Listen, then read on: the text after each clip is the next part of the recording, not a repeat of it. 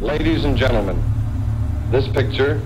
truly one of the most unusual ever filmed,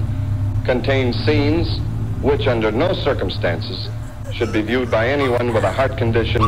or anyone who is easily upset. We urgently recommend that if you are such a person or the parent of a young or impressionable child now in attendance, that you and the child leave the auditorium